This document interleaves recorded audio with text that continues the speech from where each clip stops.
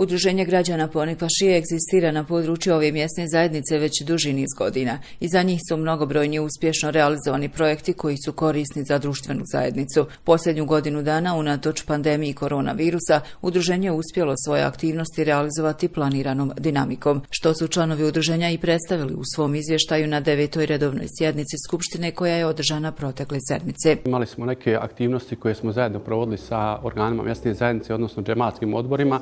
To je je prije svega oblježanje 17. jula e, već tradicionalno u Šijama kao dan sjećanja na žrtve rata i imali smo organizovanu posjetu e, mještana Šija jednom od džemata na području Srebrenice e, kojom prilikom smo izvršili obilazak i uručenje paketa za povratničku populaciju koja se tamo nalazi, nekih 60 paketa, a iz Šija je bilo negdje oko 60 putnika koji su posjetili taj džemat. Ključne aktivnosti udruženja u izvještajnom periodu odnosi se na rade na uređenju izletišta Jaruge, gdje je u toku rješavanje vlasničkih odnosa između općine i Ministarstva poljoprivrede, uređivanje staze zdravlja te ispitivanje prirodne špilje ponikva.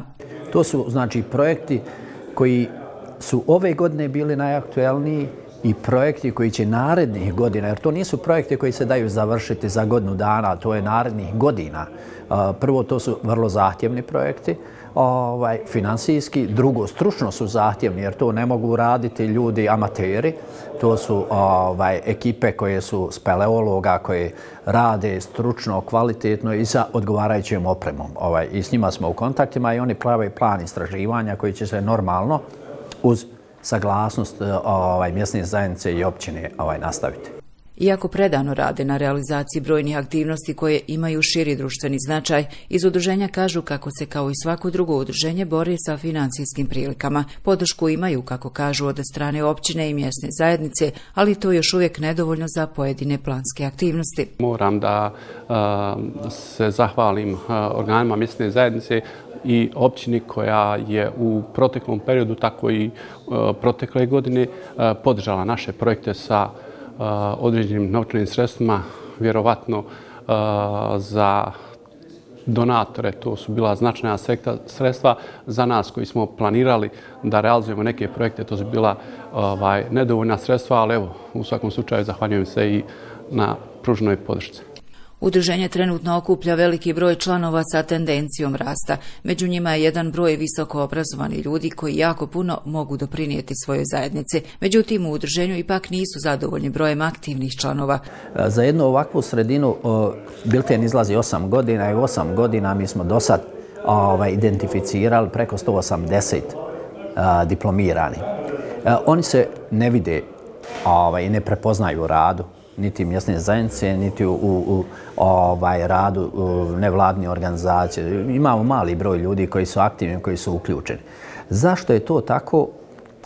Mogu se postaviti ovaj razna pitanja i odgovor bi vjerovatno bili različiti. Naša ideja, i već smo s njima razgovarali, da organizujemo jedan zajednički ovaj skup, jednu zajedničku kafu, ovaj, da dobar broj tih ljudi, bit će oni svi pozvani, a vidjet ćemo koliko ćemo imati odziv, da s njima razgovaramo, da vidimo, ovaj, jer pazite, to je ogromna intelektualna snaga koja može donijeti prosperitet ne samo ovoj lokalnoj sredini, nego ovaj društvu, zajednice, je široj.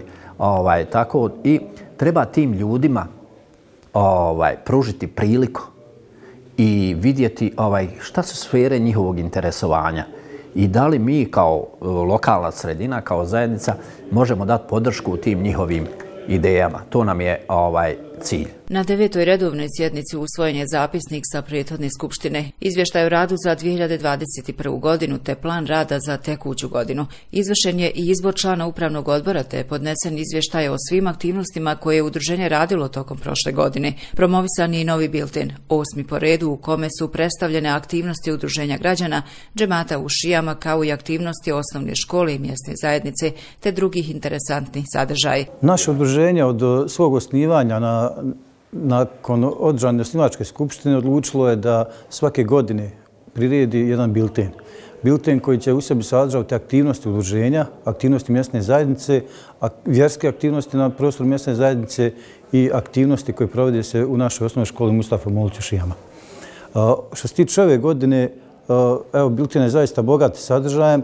Ovaj, potrudili smo se da damo maksimalno informacije. Ono što smo najviše na što smo ponosni, to su naši, mi zovemo svršenici fakulteta i magistranti, odnosno naša omladna koja zašava fakultete, steče određene titule i zvanja.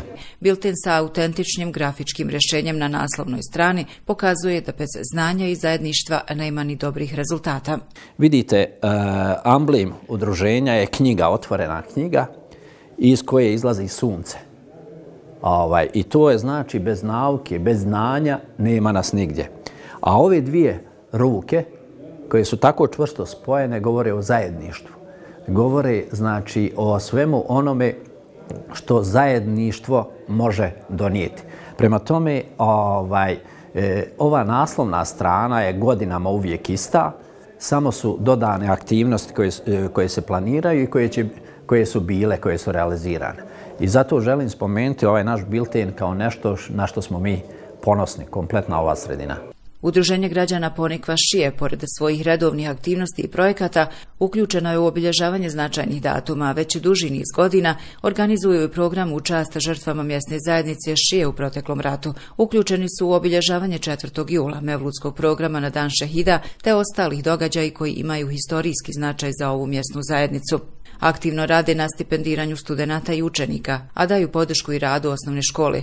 Cilj udruženja, kako nam je kazao predsjednik upravnog odbora dr. Rifat Sedinović, u narednom periodu je posticanje mladih na aktivnije uključenje u razvoj lokalne zajednice.